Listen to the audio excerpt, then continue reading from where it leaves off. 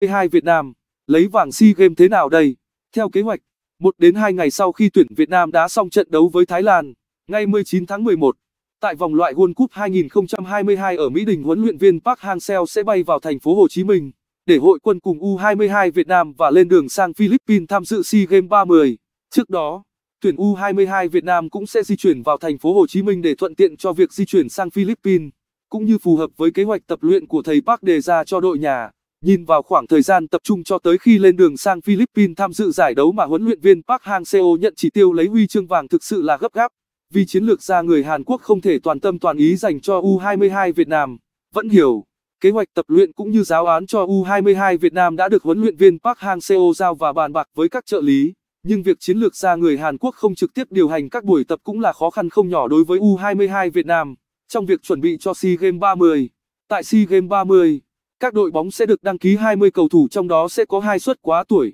và bởi thế, đến lúc này buộc huấn luyện viên Park Hang-seo cũng phải tính toán sẽ dành ưu tiên này cho ai tại giải đấu sẽ khởi tranh vào cuối tháng 11 tới ở Philippines. Đương nhiên sau một thời gian dài cầm quân, huấn luyện viên Park Hang-seo thừa hiểu U22 cần bổ sung vị trí nào để đội nhà mạnh hơn, đồng thời tiêu chí để bổ sung vào đội hình tham dự SEA Games phải đảm bảo được sự đa năng, nhằm kéo các đàn em thi đấu thành công. Thế nhưng như đã nói, để chốt cho mình hai cái tên bổ sung vào U22 tham dự SEA Games lại không đơn giản. Vì ở giai đoạn quan trọng nhất chiến lược gia người Hàn Quốc đang phải dành tất cả trí lực cho tuyển Việt Nam ở vòng loại World Cup.